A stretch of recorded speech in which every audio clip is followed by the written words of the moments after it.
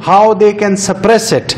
So now first thing is when this regulatory T cell comes in contact with the autoreactive cell. So this cell's just for an example, maybe it recognizes spleen. So this they can produce IL-10, TGF beta and IL-35. All of these are called as immunosuppressive cytokines okay so they will you can see the red sign they will block the function of this autoreactive cell. And it will you know the cell cycle will arrest so their numbers will not increase. That's number one. Number two you remember that IL2 is very important for proliferation of T cells all the T cells they need IL2 for their proliferation. It can act as a sponge and absorb all the IL2 in the environment. So for example this is autoreactive cell this is regulatory cell. It will take up absorb all the IL2 in the environment so T cell does not have IL2 for proliferation. Then number 3 in one of your uh, this immune response to virus you know there was a word cytotoxic T lymphocyte and I told you that CD8 cells normally are CD8 then they become killer cells. And when they become killer cell we call them CTL cytotoxic T lymphocyte. Is there any other example of cytotoxic T lymphocyte? Natural killer cell. This is the third example of cytotoxic T lymphocyte. So the regulatory T cell whenever they come in contact with autoreactive cell they also produce granzymes so now you should know there are three uh, cytotoxic T lymphocyte CD8 cells natural killer cells and regulatory T cells. They all are cytotoxic T lymphocytes.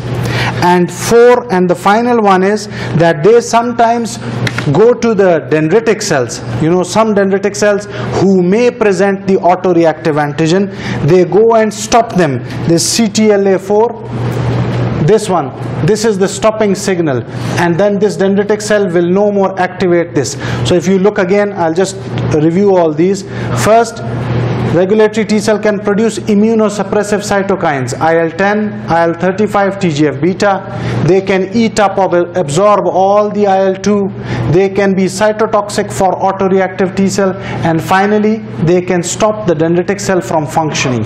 They tell them no more present the antigen. Now, we discussed what is tolerance, what is central tolerance in the thymus, what is peripheral tolerance with the help of regulatory T cell. Now, what are the possible, you know, uh, situations if central tolerance was not good, if peripheral tolerance was not good. So this particular slide is telling you that effector cells autoreactive cells. If they are blocked by regulatory T cell there is no autoimmune disease. So you will hear a lot in your clinical years autoimmune rheumatoid arthritis systemic lupus myasthenia gravis. All those occur because this autoreactive T cell has not been killed or blocked. So when it comes to the system, it will result in autoimmune disease. Now, here are a few examples that maybe the Tregs are absent, they are not produced, that is one situation. Another is they are not functioning properly, insufficient. Or number three, the, the autoreactive cells are not blocked, so they are resistant. They cannot be blocked by regulatory T cells. As a result, what you will have? Autoimmune disease. Now one small part of B cells is left. We talked all about T cell.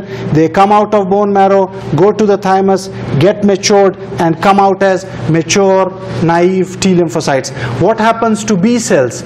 B cells have got their maturation in the bone marrow. Again, more or less the same things. If a B cell recognizes an autoreactive cell it will be destroyed. Apoptosis that's number one. Number two receptor editing. So you make a video you don't like some portions you cut it chop it and make it edited. Edited version is different. Same as this. B cell receptor recognizes a autoreactive antigen or uh, autoantigen the body will do you know splicing of the genes and the receptor shape will be changed this is called as receptor editing it no more recognizes the body antigen the kidney antigen or spleen this is receptor editing number 2 Sometimes they will switch, you know, like T cells were switched off, B cells can be switched off as well. So that is anergy. And finally, most of the B cells, they need help from T cells for class switching. Is that correct? Yes. So imagine if a T cell that was supposed to help the B cell itself has been deleted. It's no more in the system. So who will help that B cell?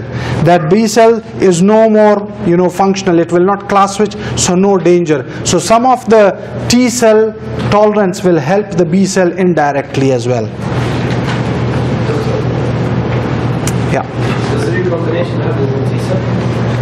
It does, but uh, of a different type.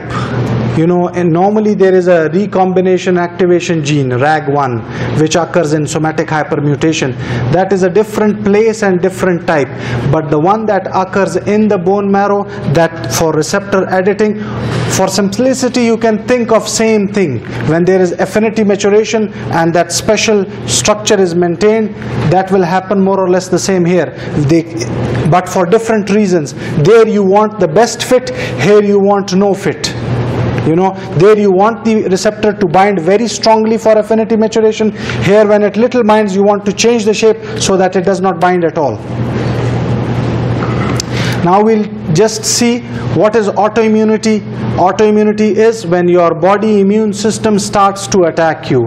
If I'm asking you what are the possible reasons, simply you should say a problem in the central tolerance, possibly, so autoreactive cells came out, a problem in the bone marrow, so the B cells, autoreactive B cells came out, or the regulatory cells, they are not performing their functions, so that's why you have autoimmunity.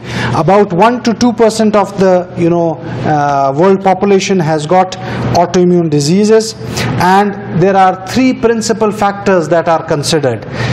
Either susceptible genes so one good example is if there is mutation of AIRE gene the people will have autoreactive you know cells in the body so autoimmunity. Then if regulatory cell genes they are destroyed or mutated again regulatory cell will not perform its function you will have disease then sometimes the environmental fa factors. I'll show you here you can see these three circles.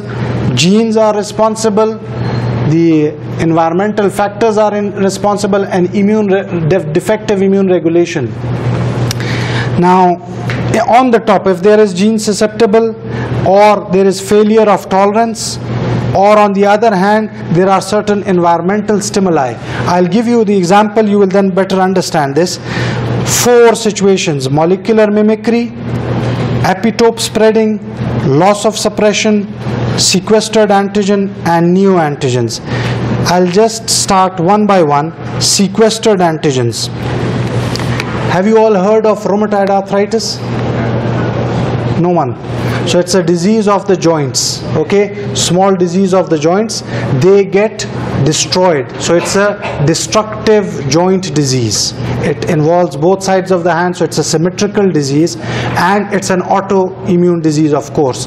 Now in this one of the thing doctors always measure is is called as rheumatoid factor. So from rheumatoid arthritis rheumatoid factor. What is rheumatoid factor?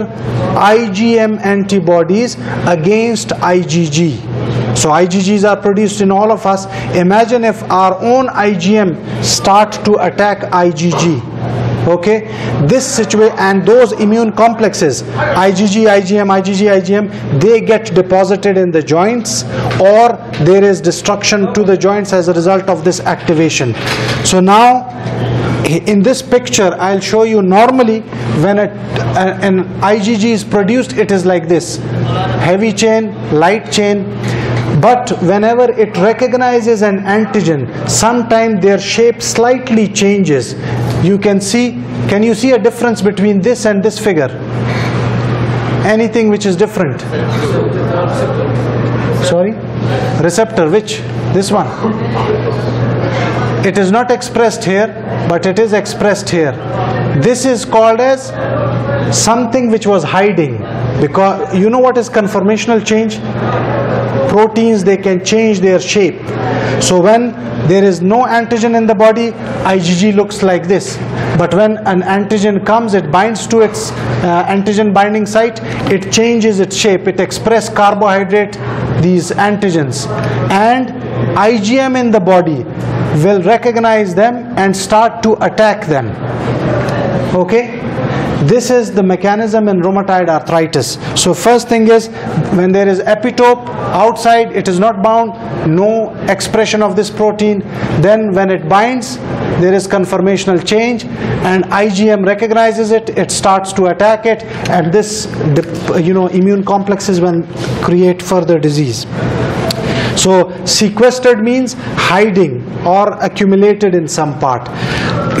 Another example we'll see of molecular mimicry. Have you heard that children, when they have got sore throat, they are very prone to develop mitral heart disease. So mitral valve of the heart, they can be destroyed or their kidneys can be affected. That's why children less than 12 years of age, if they have got streptococcal throat infection, you have to treat them immediately. Have you heard about this? No one? So all the children who have got streptococcus throat infection less than 12 years of age they are prone to develop heart disease. Valve you know valves there are tricuspid valves bicuspid valves mitral valve. They can be destroyed and as a result they will have you know arrhythmias and ventricular fibrillation. So this disease is because of molecular mimicry. Now what is molecular mimicry? This blue structure belongs to bacteria okay streptococcus bacteria. And this cell is of heart. You can see this red shape. This shape is similar to this shape. So the shape on bacteria is similar to the shape on the heart valves. Okay? So when somebody has got throat infection antibodies will be produced against the bacteria. But what will they do? They will attack the heart valves. So you can see in this figure the M protein. M protein is destroyed maybe. You know the throat infection is gone or maybe it's during the phase but these antibodies start attacking the heart valves and they destroy the heart valves. That's why the patients start to have you know regurgitation aortic regurgitation heart valves uh, valvular heart disease so this is the example of molecular mimicry. What does the mimicry word means? Copying. So the bacterial structure is copying the heart structure. There is molecular similarity between the two. That's why immune system is confused. He produced the antibodies against the bacteria. When the bacteria is gone or when the bacteria is still there, they start to attack heart valves. So there is similarity in structure between the heart valves and the bacteria. This concept is called as molecular mimicry. Now just to give you an idea that how many autoimmune diseases are present and you will we'll discuss as much as possible with you. Endocrine diseases are there, autoimmune, GI diseases are there. These are some of the names you have heard of. Type 1 diabetes, it occurs because of the autoimmunity. The immune system destroys the beta cells. Then Hashimoto thyroiditis, the thyroid gland is damaged. Graves disease is also a molecular mimicry thing.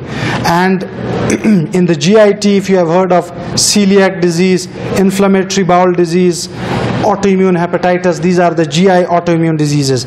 And finally the neuromuscular diseases are multiple sclerosis GBS and myasthenia gravis. So we'll discuss a lot of these you know gradually as one of uh, you know as the lectures come so here's the summary. You know, we talked about the immunological tolerance and its significance, central and peripheral tolerance, then how the central and peripheral tolerance of B cell take place, and finally the principal factors of autoimmunity. Any questions?